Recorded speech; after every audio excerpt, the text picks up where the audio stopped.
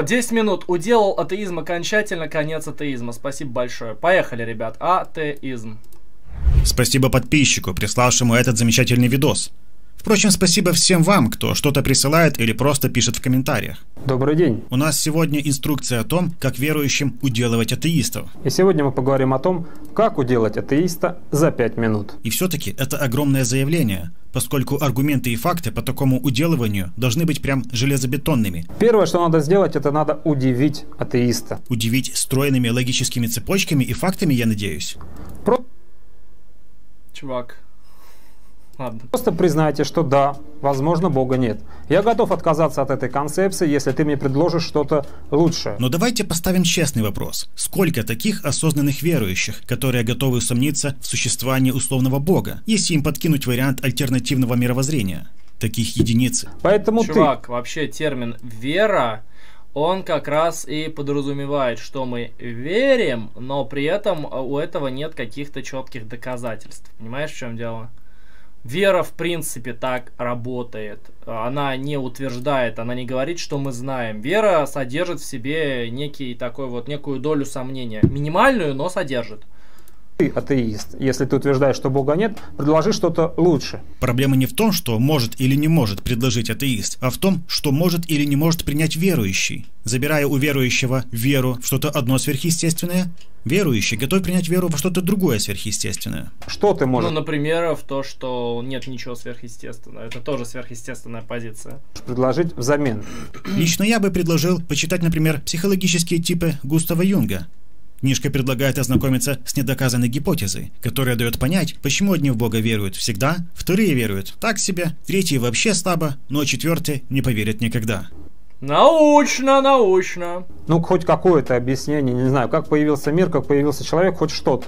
Ну, если хоть что-то, Ну, вера в науку не очень правильный термин, но то есть, если по религиозному брать, по, христиа... по христиански, да, христианская вера это определенный вид убеждений. И не все верующие в мире, не все религиозные люди в мире являются верующими в христианском смысле.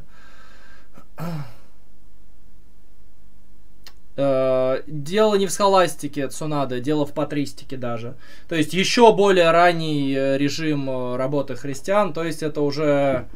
То есть это уже сами, ну, например, у Климента Александрийского получается разделение на веру и знания, а схоластика, она уже варится в, этом, в этой дихотомии разделения веры и знания. Христиане предложили это разделение, потому что они разработали вообще, в принципе, понятие веры как таковой, вот этой вот определенной религиозной веры. И они с ним работали, ну, практически с самих истоков своих. То где-то у меня были школьные А уч- зачем тогда приводить в качестве примера недоказанную теорию Юнга? учебники, в которых, слава богу, не написано о происхождении всего видимого по щучьему велению Бога, которому стало скучно. И как Учебники это круто, да. только атеист за это схватится, считайте, что он проиграл. Ну, спорный момент насчет проиграл. Главное, чтобы не проиграл с подливой, разбирая нелепости очередной религиозной концепции. Кстати, автор зря палит контору, ведь э, суть условного диспута – заболтать и уболтать оппонента. Но проблема ведь в том, что сам по себе атеизм – это лишь отрицание существования чего-то сверхъестественного, грубо говоря. Фишка в том, что атеист Нет, атеизм это отрицание несуществования чего-то сверхъестественного. Атеизм это отрицание конкретно существования Бога. Можно быть атеистом, но верить в души, например. Да, возможно такая атеистическая концепция, в которой нет богов, но в которой есть души какие-то, какие-то сверхъестественные силы или еще что-то такое. Есть некоторые разновидности атеизма, которые отрицают все сверхъестественное. Например, научный атеизм, он отрицает все сверхъестественное. Но научный атеизм это частный случай общего атеизма, большого-большого-большого такого. не обязан быть наполнен альтернативными взглядами на происхождение мира и человека, и в целом атеизм не предполагает несение миссии пропаганды материалистических взглядов. Если Можно быть атеистом, но верить в магию, правильно, Владислав, безусловно. атеизм отрицает Бога, Можно быть атеистом, но верить в диалектику, например. то отрицать его можно как угодно, но при этом не обязательно поддерживать концепции Большого Взрыва и теории эволюции и всех остальных. Да, правильно. Дело в том, что атеисты в подавляющем большинстве случаев не являются учеными, они просто некомпетентны. Спасибо Аллаху, что все верующие поголовно ученые, специалисты и компетентны во всех вопросах. И они Они будут ссылаться на чужие слова. Сами они ничего не проверяли. А что, каждый верующий уже проверил всю науку и сделал вывод, что большой взрыв и теория эволюции почему-то неубедительны, а Так проверить всю науку невозможно. В одного, по крайней мере, той. В одного человека точно. То есть невозможное требование в споре озвучивать довольно странно. значит, это дает повод верить в Бога? Так что ли? Есть целый набор физических постоянных. Кто из вас, атеисты, хоть одну из этих постоянных проверял, проверял ее значение? Ну и кто из вас, Никто. Верим. Верующих, их проверял и опровергал? Да, вам может очень повезти, Ну, здесь не о верующих речь идет. если вам попадется целый кандидат наук, который является атеистом. Мне вот ни разу не повезло встретить доктора богословия. Впрочем, тот же кандидат богословия вряд ли бы себе позволил использовать такие аргументы. Ну типа, если ты не физик, то вроде как не имеешь права что-то там доказывать, пока Имеешь. всю физику не проверишь эксперимент. Так никто не проверяет всю физику экспериментально, даже сами отдельные. Каждый самый отдельный физик э, нихуя, э, в общем, не может э, ничего, в общем, проверить. Все нормально. Все, все нормально. По- В принципе, большинство э, информ... большая часть информации, которую воспринимает любой ученый, она не экспериментальная, она текстовая. Ну и по-другому просто и быть не может. Ну вы представьте себе, если бы каждый физик проводил бы все эксперименты, которые существуют в физике, да он бы ёбнулся просто. Ну, Тотально ему бы пришлось просуществовать лет тысячу еще вперед, чтобы самому все проверить. Не покажешь одобрительную печатку аттестационной комиссии, которая все это принимала. Но он кандидат каких-то конкретных наук, например, биологии. Да, в биологии он что-то проверял, но не проверял астрофизику. Правильно, хороший аргумент, кстати. Вышеупомянутый Юнг дает понять, откуда берутся такие вот всезнайки с энциклопедическим набором фактов чуть ли не по каждому вопросу. А еще есть Так, чувак не выдает никаких энциклопедических наборов знаний, сейчас он просто показывает устройство того, как устроена наука. То есть биолог абсолютно верит физикам. Каждый физик верит другим физикам, и каждый биолог верит другим биологам. Они друг друга проверяют во многом достаточно косвенно, и наука строится по принципу ну, в общем-то, некоторых малых групп. То есть в науке есть несколько малых групп, которые занимаются теми или иными вопросами. Люди иногда из этих малых групп перемещаются в другие малые группы. Ну, например, у нас есть, причем все науки, даже э, все науки философского характера, гуманитарные, они так устроены. Например, у нас есть некое общество, которое занимается Хайдегером.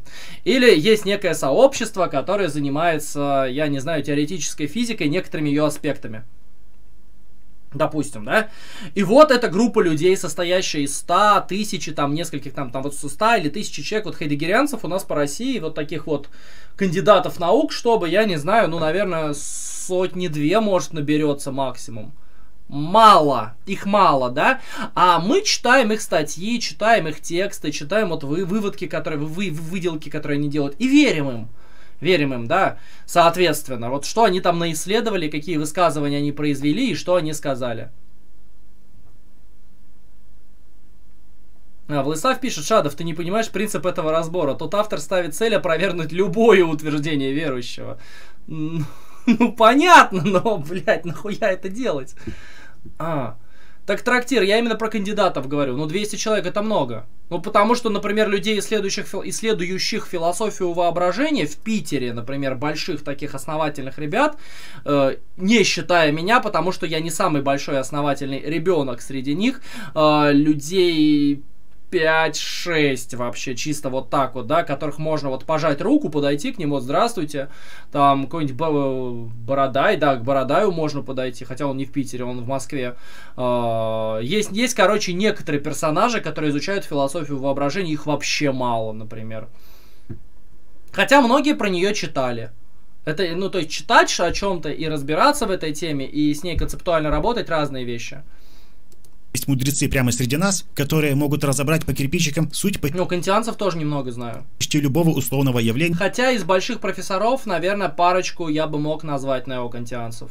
или процесса. Так что я бы не брался недооценивать какого-то специалиста в одной конкретной области. Но с другой стороны, поговорка «талантливый человек талантлив во всем», по-моему, тоже неверна. То есть атеист, когда опирается на науку, он опирается на чужие слова, на, Правильно. На чужие выводы. Сам Ну, он это очевидное высказывание, с ним спорить вообще нет смысла. их не проверял. Ну а верующие что, не опираются на чужие слова? Те же святые книги типа Корана и прочего – это всего лишь слова условного Мухаммада. Может быть, верующие уже проверили, что какая-нибудь там Библия не лжет? Ну и где доказательства? И это важно. Обратите внимание атеиста на Так верующие знают об этом. А почему важно? Да все просто. Дело в том, что наука очень часто ошибается. Конечно, наука ошибается. Ее возводят по крупицам обычные смертные, а не супермудрый бог, который, если бы существовал, то, наверное, мог бы дать людям кое-какие знания. Но, видимо, ему жалко. Была гипотеза теплорода, ее потом отменили. В этом и состоит прелесть науки. Выдвигается гипотеза, которую потом ученые нагибают вдоль и поперек и смотрят, гипотеза имеет право на жизнь или опровергается. Никаких Более-менее неплохо. непогрешимых устоявшихся догм, как в религии. Это и есть прогресс. Нет, э, устоявшиеся догмы есть. Вообще сам метод, который ты перечислил, ты его довольно коротко и довольно уместно, да, довольно нормально его перевел. На нормально, нормально сказал, да, он нормально сейчас все сказал. Неупрощенный кун это скорее принцип фальсифицируемости упрощенный, и он правильно его очень просто вот так пересказал, все хорошо, все круто. Так вот, Э, Только проблема заключается в том, что некоторые гипотезы, они становятся сильно устоявшимися, вот они становятся такими неопровержимыми догмами, с одной стороны. С другой стороны, есть методы, которые являются устоявшимися, которые тоже являются непогрешимыми догмами, с другой стороны. Не все в науке подвижно. И с другой стороны, нет такой религии, в которой все было бы неизменно. Так э, Кун идет после Поппера. Трактир знаний. Ну, то есть, он не просто идет после Поппера, он еще и отчасти его ученик. Тут как бы Поппер первенство за ним. который дал возможность заглянуть так глубоко, что верующим стоило бы эту тему не поднимать вообще. Был, например, такой закон Геккеля, да, вы наверняка видели такую картинку с зародышами, которую нынешняя биология отвергает. Закон Геккеля Мюллера, конечно, неплохо так поджег пятые точки верующим. Его иногда можно подбрасывать знающим верующим в качестве дровишек, чтобы посмотреть, как полыхает. Забавное зрелище. Да что там, даже Нобелевскую премию вручали по ошибке. Когда производите демонизацию науки такими способами, то вам тогда нужно отказаться от верующих ученых. Вы готовы отлучить от церкви своего любимого Ньютона? Кого вы там еще в ученые записываете? Эйнштейна? Вот он был ученый, значит, гореть ему в аду, не так ли? Так вопрос, Да, пусть горит в аду. Атеист, если ты пытаешься прикрываться наукой, которую сам не проверял, как ты можешь Владислав пишет, я правильно понимаю, что могла история пойти по пути без конфликта верующих и ученых. Да, но этот конфликт, он как бы, он сфабрикован внутри христианства, потому что изначально был конфликт между философией и э, хри- христианской верой. И отсюда появилось разделение, религия и, короче, философия. И, соответственно, по- появилось разделение на знание, которое принадлежало философии, и э, вере, вера, которая принадлежала религии. Притом, знание, которое было философией, оно все равно как бы хуйня полная для дебилов, да, оно логично доказано, оно прикольно, ну и в основном его отдавали только тем философам, которые были похожи на самих христиан, типа Платона, Аристотеля, некоторых стоиков, да, вот эти познания, потому что оно имеет некое логическое вот такое вот оснащение, некую непротиворечивость внутри себя, да, вот это типа как будто бы знание. А есть вера, которая не основана на этом знании, она логична по большей части, она вне логики, она не подчиняется ее законам. А, При этом вот то знание, которое вот философии, оно все равно не есть знание в прямом смысле, в котором мы это сейчас используем, ну, типа вот какая-то объективная, точная, реальная информация о том, что действительно существует. Не-не-не-не-не-не-не. То есть это не так даже понимается по большей части. Вот, вот есть какие-то философы, которые вроде бы открыли те вещи, которые есть в христианстве. Ну, они молодцы, мы их целуем, они, они знания открыли. Логи- логично, логично. быть уверен, что она не ошибается? Да, у китайцев и других нехристианских их ветвей э, нет такого конфликта. А если есть, то его завезли из Европы. Ну да, я думаю, приблизительно так это и выглядит. Конфликт знания и веры – это конфликт внутри христианской, в общем-то, методологии. Когда человек разделяет что-то на знание и веру, он автоматически, э, ну, ставит себя в положение... м, человека, находящегося внутри христианской культуры и поддерживает то разделение, которое было предложено, ну, допустим, Климентом Александрийским, да.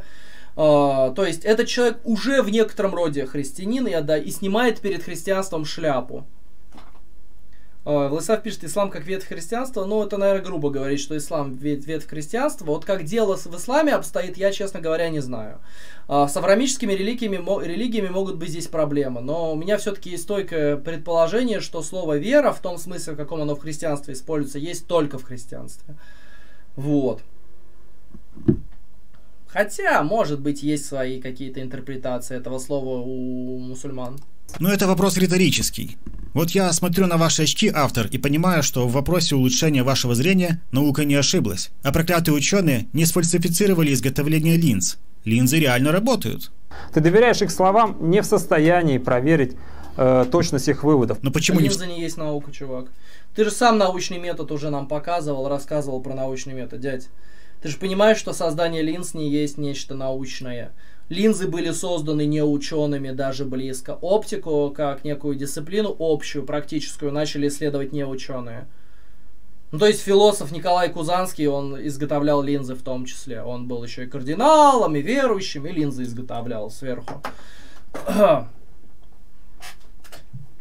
Ну, они, может быть, и раньше были, Владислав, еще намного раньше были линзы. Но вот чисто вот до науки, вот в преддверии науки, хорошие такие линзы, которые потом э, да, дорабатывались уже для телескопов, да, они были еще у, соответственно, философов. Философы их делали. Ну, типа Николая Кузанского, еще кого-нибудь там. Так что, так что здесь все тоже так довольно странно. В состоянии. Много чего можно проверить, сидя дома и подтягивая чай с бубликами. Так обобщать нельзя. Ведь такой аргумент можно развернуть и против самих верующих, заявив, что они не в состоянии что-то проверить, осознать или понять. Потому...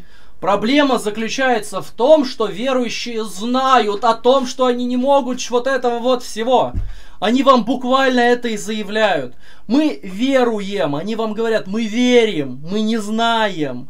У нас есть разделение на веру и знание. Понимаешь, понимаешь, чувак? Понимаешь, чувак? Вера, как тезис, она имеет меньшую смысловую и силовую нагрузку, чем знание.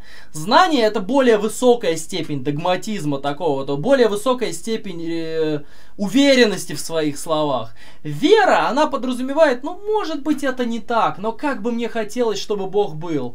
Я буду жить так, как будто бы Бог есть. И даже если Иисуса Христа нет и никогда не существовало, даже если Бога такого христианского нет, я все равно буду жить так, как будто бы Он есть, как будто бы есть Иисус Христос, как будто бы есть любовь, добро и все вот это вот замечательное и классное. Христиане об этом знают, чувак. Поэтому ты не можешь их тезис э, раскритиковать, просто повторив его. Ну вот, ну, ну невозможно. Ну, тут, тут это вообще никак веру не трогает. Понимаешь, понимаешь, понимаешь? Ну, блин, смешно же. Потому что у тебя не хватает научной компетенции. Все, уделал, положил на... Про оптику еще в Модзе упоминалось. Может быть и да, да, да. Но тут вопрос, э, насколько оптика далеко может уйти еще. Но в любом, в любом случае, как бы мы оптику не рассматривали, она появилась до науки. Ну, по крайней мере, практическая оптика точно появилась до существования научного метода. Это вот на 100% зарезервировано в любом смысле, во всех возможных рассмотрениях этой оптики. И химия, алхимия, химия, дефис алхимия появилась задолго до науки. И так далее. И анатомия задолго до науки в любом смысле появилась. Тут вообще без проблем. Лопатки. Здесь интересно сопоставление с верующим. А можно назвать веру осознанным догматизмом, а знание его антитезе, то есть знание неосознанный догматизм. Можно так попробовать, да. То есть человек, который знает, он думает, что он не догматик нередко. Ну, нередко. То есть, как определение, наверное, не очень тонко идет, да. Но часто это так, часто это очень прям, прям совпадает. То есть, человек, который думает, что знает, он не осознает, что он догматик, он думает, что информация, вот она реально абсолютно крута. А верующий у него есть элемент осознания того, что вот то, что он думает, может оказаться не так, но ему очень сильно хотелось бы. Ему ну, вот прям очень сильно хотелось бы, чтобы это было так. И он готов всю свою жизнь этому посвятить. То есть разъебывать веру, в принципе, с помощью таких заходов нельзя. Ну, ну, хотелось бы, но нельзя, чувак. Ну, блядь, ну да. Допустим, да, я тяжело. являюсь шаманистом. И вы хотите сказать, что автор не тролль? Но я являюсь шаманистом не потому, что мне кто-то про это рассказал, а потому что это мой личный опыт, потому что я вступаю в контакт с духами. Вера основана на опытах. Чувак, не на опытах, а на опыте. Вступил Правильно. в контакт с духами и уделал всех атеистов. Видимо, это духи и подсказали такую аргументацию. Я что-то переживаю, я что-то осмысляю. То есть э, это мой личный опыт, причем каждодневный опыт, рациональный, эмпирический. Не, ну по такой логике можно вступить в контакт с наукой, причем со всей сразу. Пережить ее, осмыслить ее, получить, так сказать, каждый... Я, кстати, вступил в контакт с наукой и знаю, что она хуйня полная.